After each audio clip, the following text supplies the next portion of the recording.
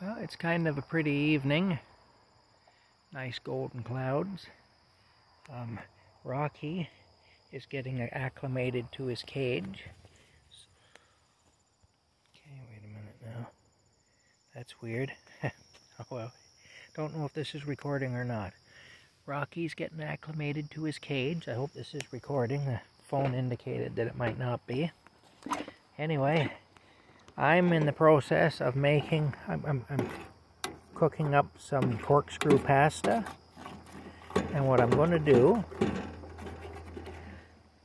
is I'm going to add it to this um, beef and barley soup that I dumped out of a can. Um, its used before date was uh, on the 13th of August, so um, I figure I'll use it up. Anyway, the can was starting to rust, so figured I might as well use it up. And uh, But I don't really like it thin like that, so the, the, the noodles are going to help. The noodles will add to the, um,